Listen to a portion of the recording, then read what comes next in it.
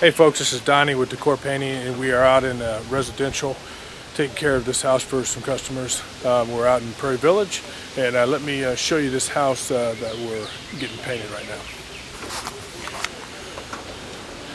As of all of our houses, first step is we power wash the house down. This is a beautiful house um, here in Prairie Village. I'm going to take all the windows off. Now he's caulking around the windows and there are some areas on this house that there was some wood rot that we had to give some attention to get the wood rot off and then replace it with some new vinyl sills right now he's just priming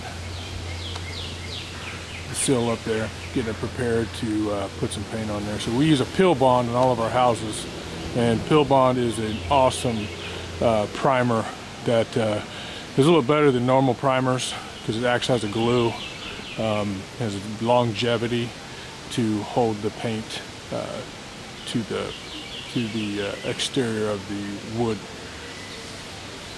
We'll come back and uh, show you when we get started painting. Come back and show you that process.